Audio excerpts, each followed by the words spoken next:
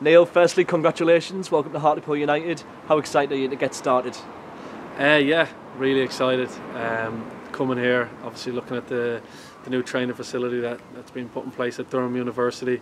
Um, coming and looking at uh, how good the pitch is, especially with this, this beautiful weather. I'm, I'm really excited. Um, really happy to be here and can't wait to just get started. Why Hartlepool United? I know that you've spent time with the gaffer at Fylde as well. Was that one of the main reasons? Uh, yeah, I've spent time with uh, the gaffer at Fylde. Um, I know the the assistant Joe Parkinson well. I worked with Jake, and um, obviously we played against Hartlepool a lot of times last year. Um, and, you know the, the, style of football, um, obviously how well Hartlepool doing and, and getting promoted, and you know everything just uh, clicked into place. You know the chance to work with the gaffer again, uh, the chance to play in the football league, and chance to play at, uh, at the ground and in front of these fans. It's it's definitely something that excites me. And the prospect of EFL football as well. How excited are you for that with Hartlepool?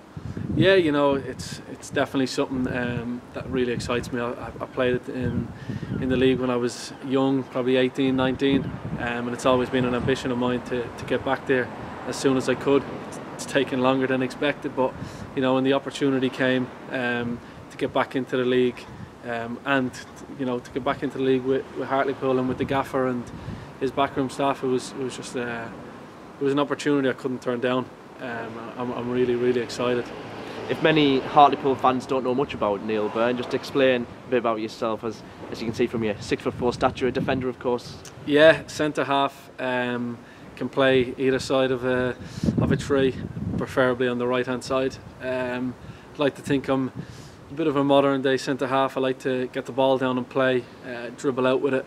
Um, but you know, back to basics. I, I think I can defend well. Um, my main priority is to keep a clean sheet, but you know, you like to start attacks from the back and start play off. And just finally, you must be absolutely raring to go to see Victoria Park packed out that first game of the season against Crawley Town. Yeah, listen, I've played at Victoria Park before. You know, the fans are very good, um, and especially the, the, chance to get back into the into the FL first game of the season at home. Hopefully, this weather comes. Um, you hope for a packed packed out stadium and uh, getting off to a good start in the in the football league. Neill, thanks very much. Cheers.